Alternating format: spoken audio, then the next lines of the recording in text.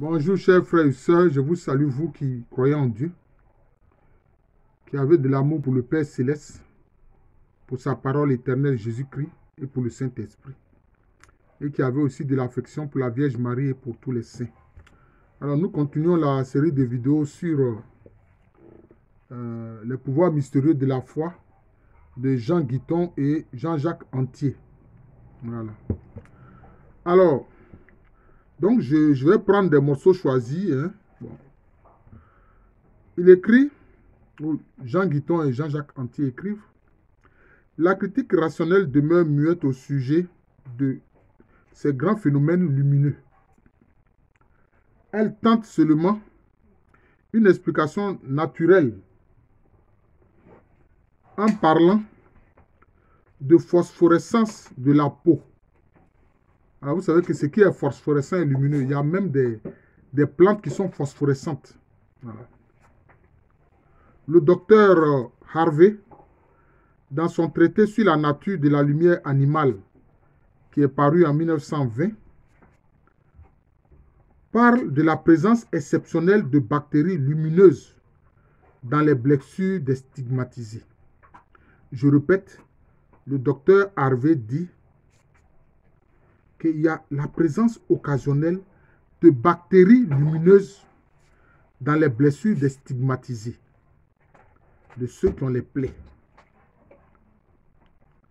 Dans ces bactéries fantômes, n'ont plutôt, mais ces bactéries fantômes n'ont jamais été isolées, donc identifiées.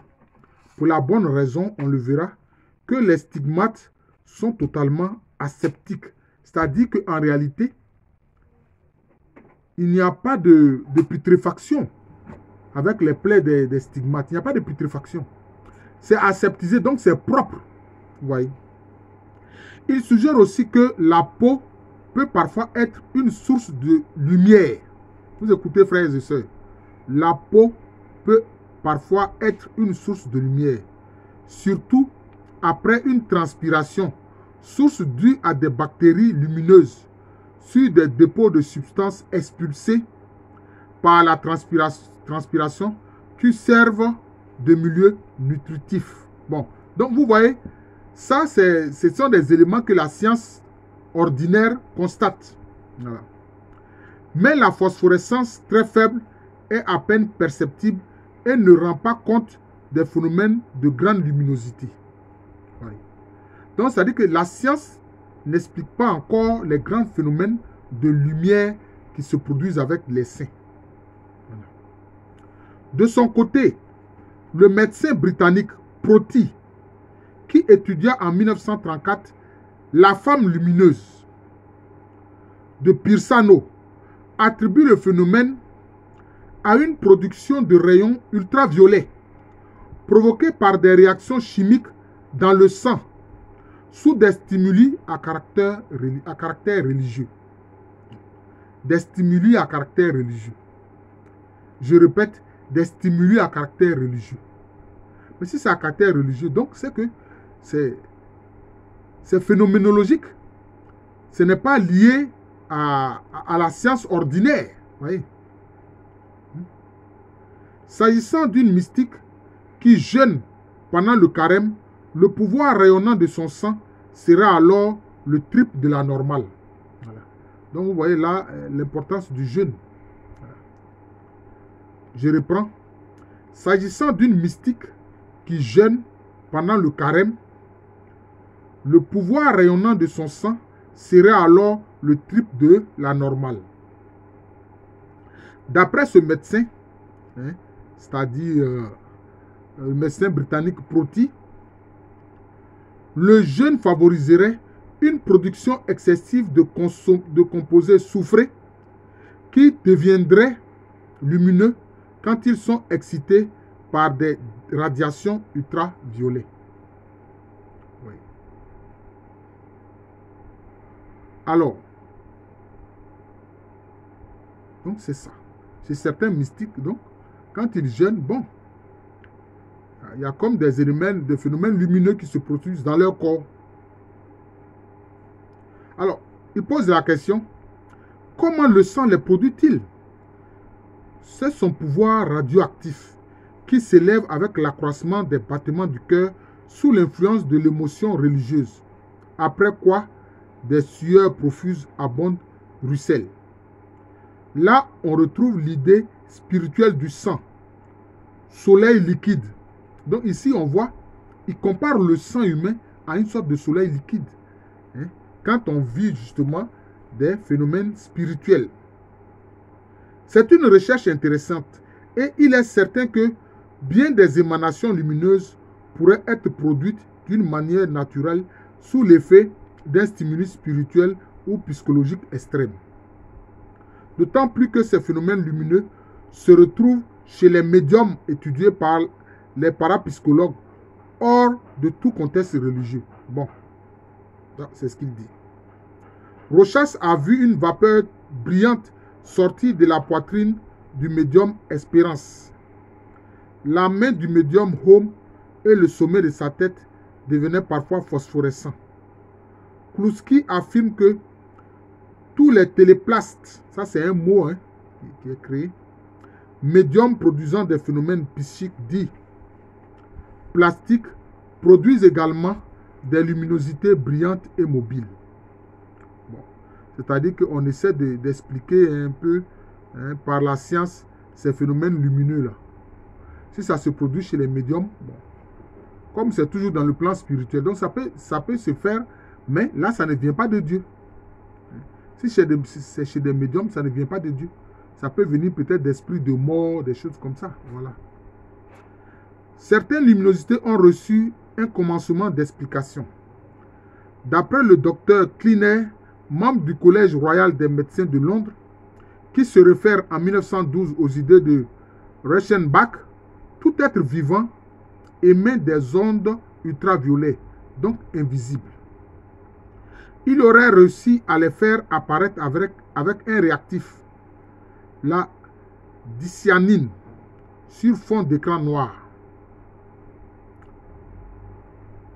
La nimbe des mystiques et l'aura des occultistes serait une accentuation de ce phénomène devenu visible. Bon, c'est vrai. Notre corps lui-même peut émettre la lumière. Ça, ça peut arriver. Ça peut être un phénomène naturel. Par exemple, on le voit. Quand on a mangé de la nourriture, ça devient quoi? Ça se transforme en calories. Calor, ça veut dire chaleur. Ça se transforme en calories. Vous voyez. Mais ça, c'est différent quand le mystique euh, qui croit en Dieu hein, vit cela. N'ayez pas peur du mot mystique. C'est ce qui est lié au mystère. Voilà. On voit que sur ce sujet, il reste encore beaucoup à découvrir. On pourra conclure avec le docteur Turson. Il y a tant d'histoires de saints, moines, qui éclairent une cellule obscure ou toute une chapelle par la lumière qui ruisselle d'eux-mêmes ou qui les baigne que j'incline fort à adopter l'interprétation la plus littérale, c'est-à-dire un minimum la véracité des témoignages. Vous voyez Donc c'est cela. Il peut, il peut avoir la, la luminosité naturelle du corps, des médiums qui s'appuient sur d'autres esprits, mais aussi des saints. Là, ça vient du Seigneur. Alors, il aborde aussi la question de la transfiguration du Christ. Parce que la transfiguration du Christ aussi, c'est un phénomène lumineux. Il est écrit, il se transfigura à l'aise son visage devient brillant comme le soleil et ses vêtements blancs comme la lumière. Matthieu 17, 2. Alors, Saint Marc précise, étincelant d'une telle blancheur qu'il n'y en a pas hein, sur terre qui puisse donner une blancheur pareille. Alors le phénomène se doubla d'une vision de Moïse et d'Élie, puis une lumière, lumineuse les couvrit. Donc c'est une lumière de gloire dans laquelle Jésus apparaît.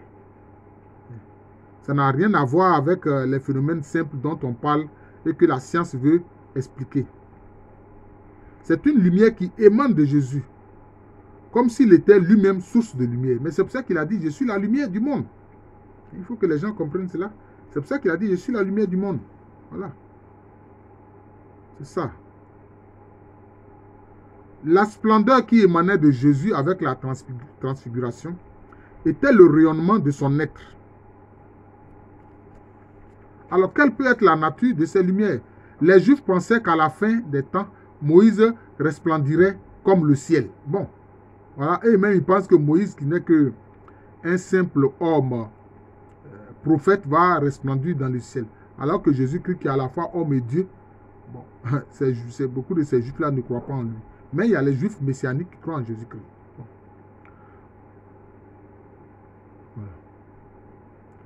Donc, il s'agissait là, non de la lumière naturelle, mais d'une lumière spirituelle, plus éclatante que la lumière et qui fait apparaître le soleil pâle. Voilà. Et que Jésus-Christ, lui, plus que le, soleil. Mais lui, son, son, sa lumière n'est pas, pas agressive. Sa lumière n'est pas agressive.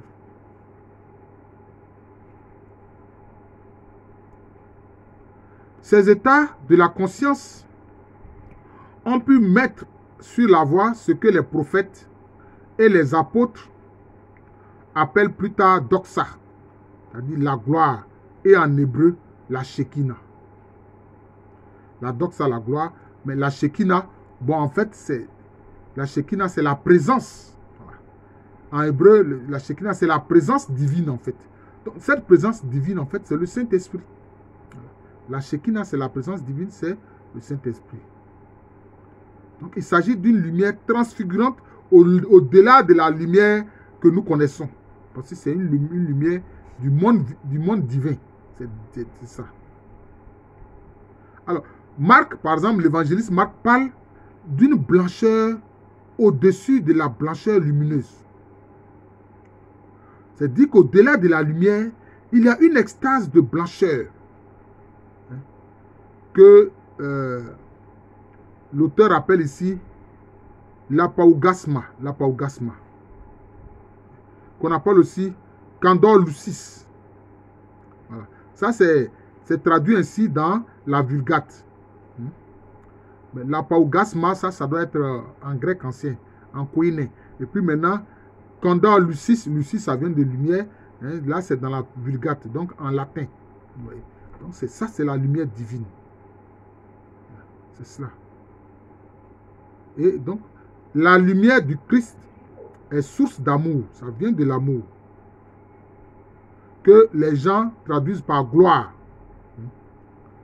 par tendresse. Et ça rapproche de Dieu. Voilà. Donc, je, vous remercie. Donc, c'est ce passage euh, de l'ouvrage de Jean Guiton et de Jean-Jacques Antier, Les pouvoirs mystérieux de la foi. Donc, parle de la lumière. Parle de la lumière.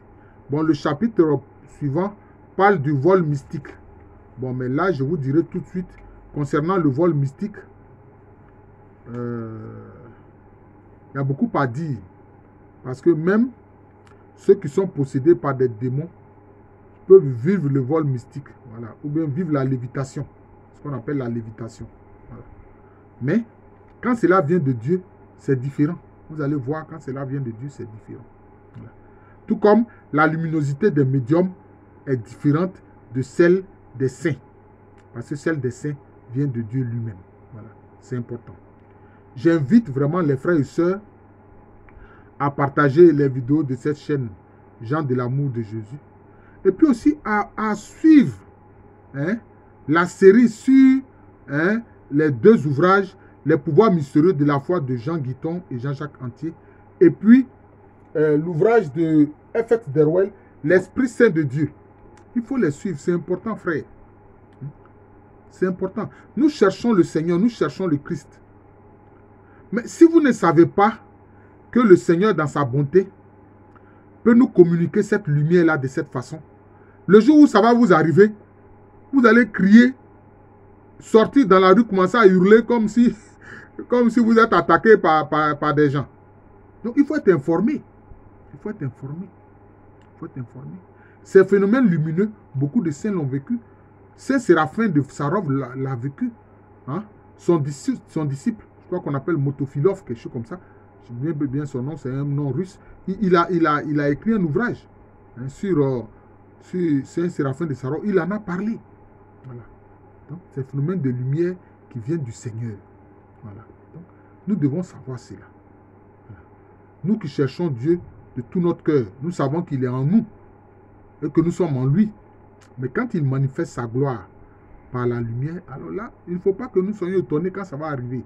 C'est pour ça que c'est important hein, de suivre avec moi hein, ces vidéos sur le pouvoir mystérieux de la foi. C'est important.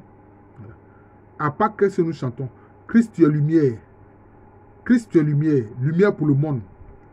Hein, celui qui te suit ne marche pas dans les ténèbres, marche dans la lumière. C'est important. Je vous remercie. Je suis le frère Jean de l'amour de Jésus. C'est mon nom spirituel. Et à l'état civil, je suis le professeur Alou Kwame Merci encore et bonne journée à tous. Et surtout, joyeux dimanche.